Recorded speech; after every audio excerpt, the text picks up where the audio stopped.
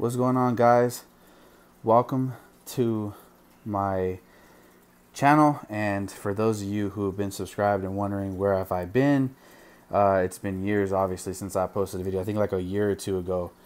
But uh, yeah, man, we are back. And long story short, had a lot of things that happened. Had a son. Had you know my life basically turned around. Got a new home and we just put this tank together about two months ago so i just want to do a tank update and obviously post a video for you guys show you guys the new tank and um, you know like i mentioned before in my most recent video i wanted to start taking this channel serious and i never did due to the complications but i'm in my new home we're living good now and i'm ready to start getting into this game fishing game fish tank game more and putting more effort into it and making this channel grow, hopefully growing it. But anyways, let's talk about what we got in here.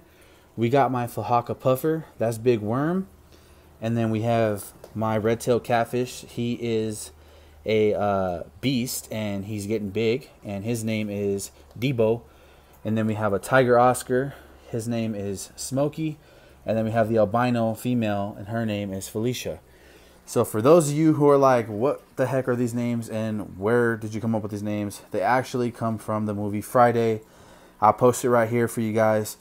If you don't know what it is, it's a freaking hilarious movie from back in the day. Super funny, but I thought the names just fit the fish and their characters. Um, so those are the names. But anyways, long story short, guys, it's a 60 gallon tank. I obviously know that I'm not going to keep these fish in here forever, that these fish are going to require a bigger home. You know, I do have a 150 gallon fish aquarium that I plan on putting these fish in very, very soon. Like within the next month or two, that's going to be my next project. So make sure you guys smash that like button and subscribe to the channel so you guys don't miss out on that content coming your guys' way. City pickup trash and uh, she told me she had another one she couldn't put out. And she told me if I was able to get it out of her yard, I can keep it. So I went and picked it up and got both these tanks for, for free, man. So it was definitely a come up. But like I said, guys, it's just a basic setup. Um, couple rocks from the neighborhood and some artificial plants.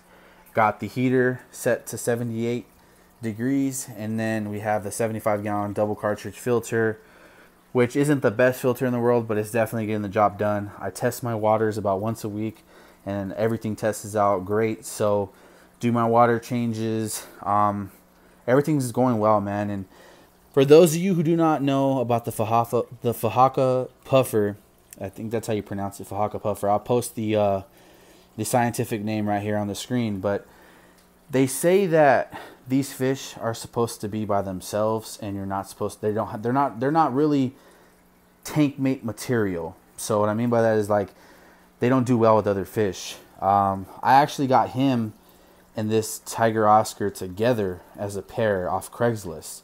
I had the red tail and albino since they were babies, and I was a bit nervous. I did my research and I was scared because I was afraid that this Fahaka puffer was going to kill my fish, and it was a huge risk that I took. And I'm very thankful to say that they're doing very well together now.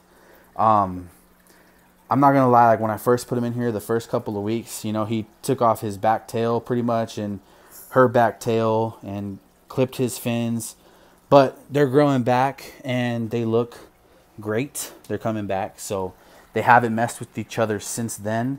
They haven't shown any signs of aggression towards one another. Um, occasionally, when they're hungry, they start picking at each other, but I try to do my best in feeding them as much as I can. Um, I do feed them on a daily basis. I feed them twice a day. I feed them tilapia. Uh, usually just cut up pieces, throw them in there, and they go to town We'll be doing videos on hand feeding him and seeing them eat. Uh, we also feed them small minnow fish and feeder fish.